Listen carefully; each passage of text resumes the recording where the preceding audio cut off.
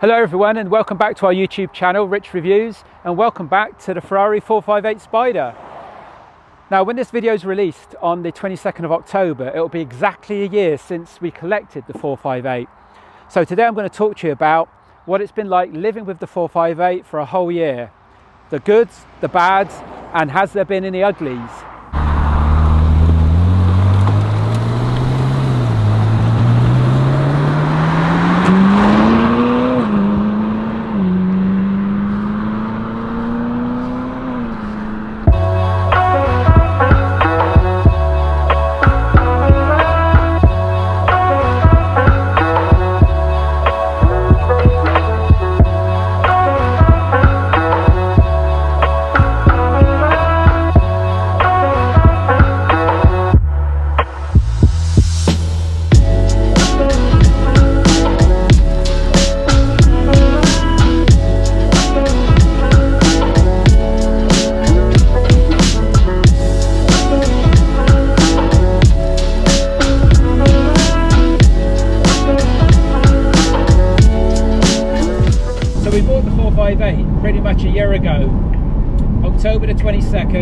2020, right in the thick of COVID. It was a, a tentative time because, you know, you, some people would have said you're crazy to buy a supercar around the time of COVID, and a lot of people were running scared. And I know some people actually bought cars around that time and actually sold them back again to the dealers and lost money because of it because they were so worried about what COVID was going to produce. I made a big leap of faith and I bought the car and it turned out to be the right decision. Do I regret buying the 458? Hell no. Get that out of the way straight away. Has there been any ups and downs? Just passing some horses now, so we'll just slow down for the horses. Yeah, of course there's been some ups and downs. There's been additional incurred costs as well, for sure.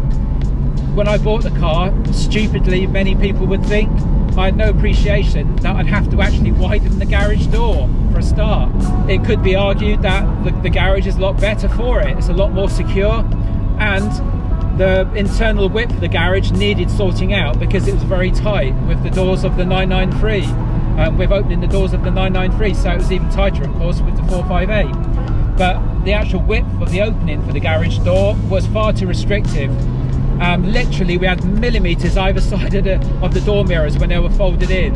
Just not usable. You couldn't chance it going in and out of the garage like that. I was very fortunate that when we bought the, the, um, the 458, it went straight into winter storage.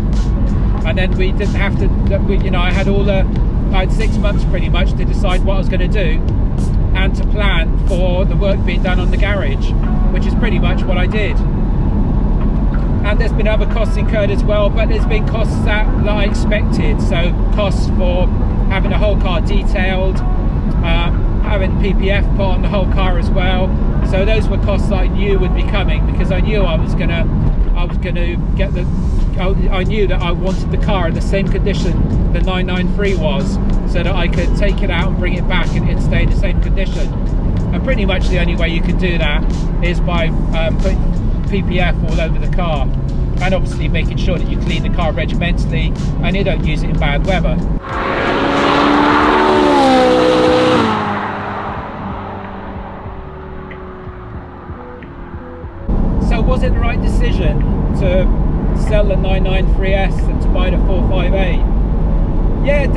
Right decision. I'd had the 993 for 12 years.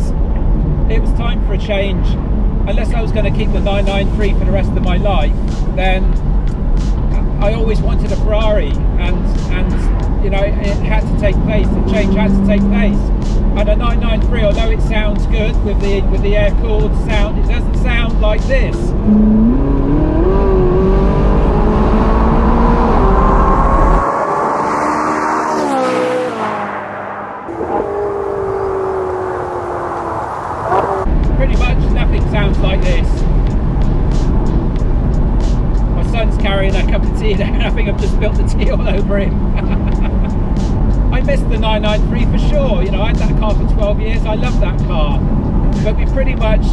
We could with a 993 and although obviously we still enjoyed the car. It was a great car to own, beautiful car, and I, and I still keep in touch with the owner. Really nice guy, really looks after the car. It couldn't have gone to a better owner. So I'm happy. I'm really happy about that transition. The sale couldn't have gone better to a nicer guy, and it's you know it's the best possible scenario without me still owning the 993. Some people will have said keep the 993 and buy the 458. Well, two things are an issue with there. Number one, I just haven't got the money to own two cars like that, to own the cars outright. And number two, I didn't have the garage space, and there's no way I would have put either car outside for any prolonged period. To be honest, I'm not happy with putting either car outside for even a day. So, you know, there's no way that would work out.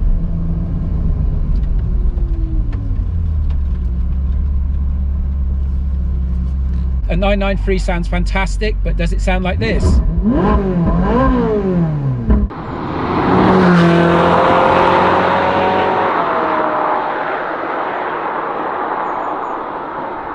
No, it doesn't. 993 doesn't look like this.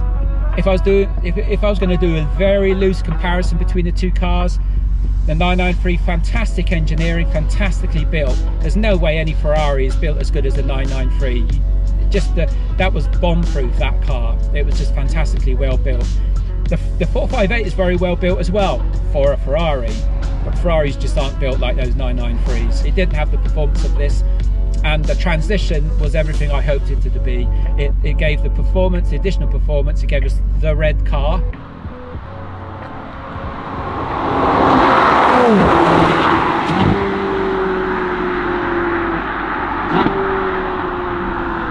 I needed to own a Ferrari before I passed away, before I left this mortal coil, as they say. And it's, it's working out very well. Very, very, very fortunate that I managed to get into a 2015, the last year of the, of the 458 Spider build. One of the key benefits of buying a 2015 458, and I was very lucky to get a 2015 458, is that the car still has two years left of its seven year service pack. And that is a great benefit because that even though the 458s are bulletproof and the services aren't that expensive, they're still fairly expensive. Um, to not have to pay services for two years, to, to not incur the cost of servicing for two years is, is, fantastic. Obviously, a lot of things are outside the service pack, but um, pretty much, you know, these, these cars are bulletproof, um, pretty much like the 993 was. Not as bulletproof as the 993, but, but you know, for a Ferrari, very, very, very, very reliable and very solid. We'll talk about the servicing a little bit later.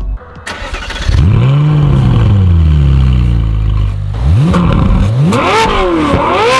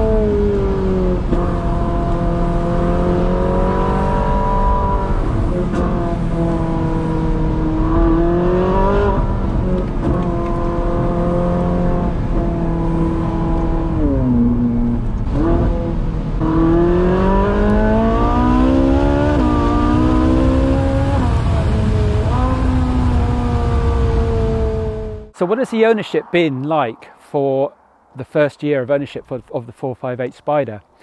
Um, with regards to the servicing, uh, it was actually a very good experience. Obviously, it's still got two years left of the service pack, of the seven-year service pack. Um, the car was taken to Dick Lovett's in Swindon, where I bought the car. Fantastic experience. I worked there for the day um, while I was servicing the car. Um, they could not do more for me. Um, you know, regular refreshments. Um, while I was working there, I had my own office area. I mean, it was fantastic. You know, I couldn't have been looked after better, really. Um, the car was serviced, no issues as you'd expect and uh, all good, you know, drove the car back, no problems. Let's talk a little bit about the driving experience differences. Again, it's not really a good comparison to make with regards to the 993. The 993 was a great car to drive, it was a great car to own. It was, with the 993, it was the experience of driving that car, the feel of the car, the smell of the car, um, knowing that you're in such a beautiful car. Um, that was a fantastic experience in itself totally different experience than the 458. This car really hits all your senses. There's, there's nothing it does not touch. You've got the sound, you've got the feel, the overall experience. Um,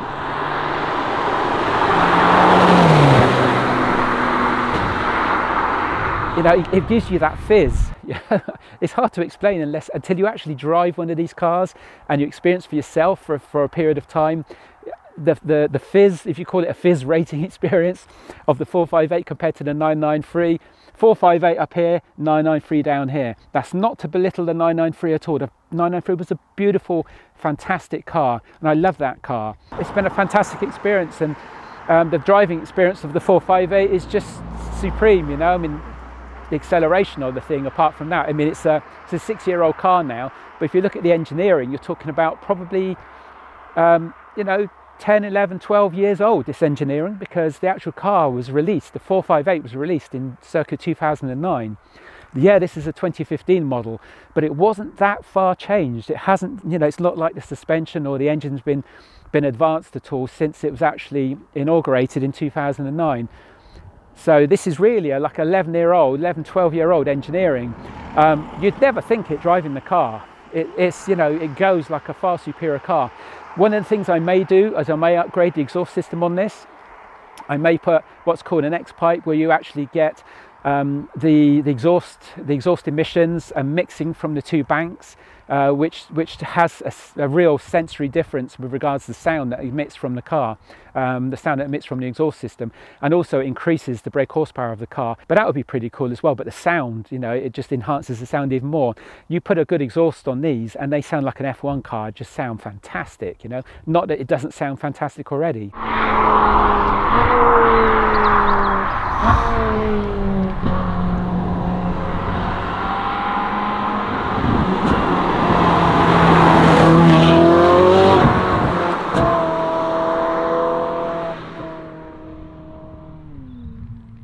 There's been a few um, nigglies. At some point, I think the battery's going to need to be replaced, which is very common. These cars need battery batteries replaced about every two years.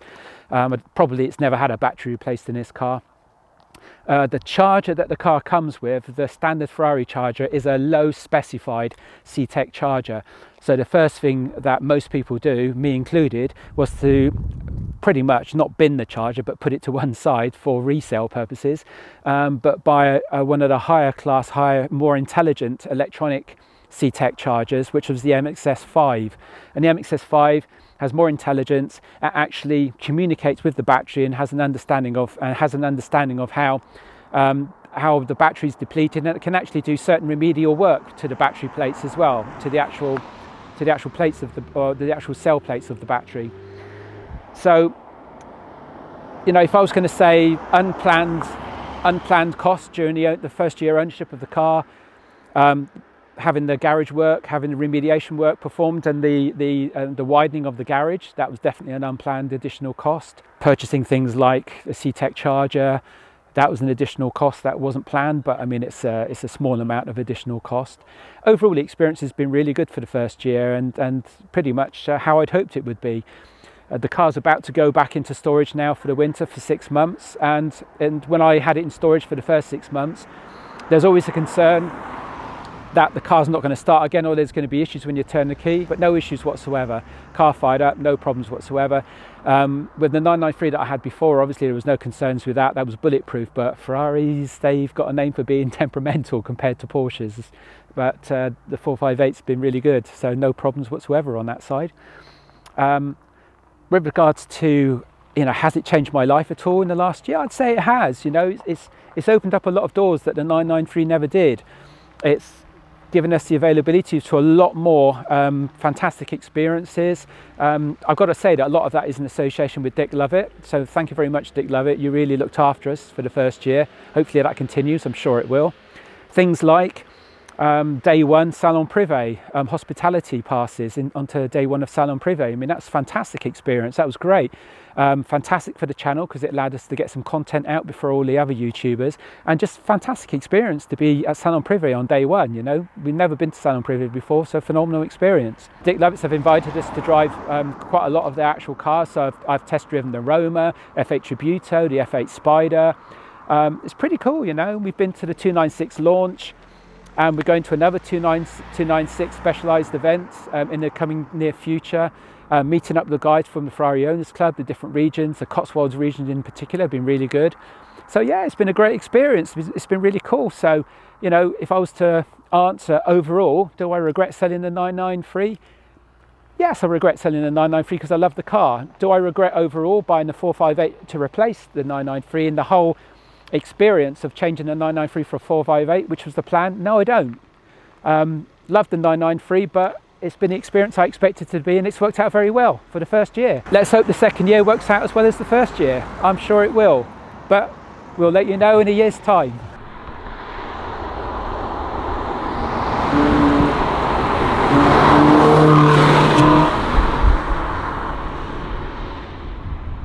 So in summary, do I regret selling the 993 and buying the 458? Definitely not. Um, what has the experience been like for the first year? Phenomenal. You know, events, owning the car, the driving of the car, it's just been phenomenal for the first year. It's been everything I'd hoped it would be. Long may that continue. With regards to events that we're going to be covering off next year, um, we've got the Modball Rally to cover off next year. That's going to be pretty cool. It's going to be a really great experience. Um, we hope to continue doing things like um, Salon Privé, etc. Um, we've got a few things lined up with regards to some third parties.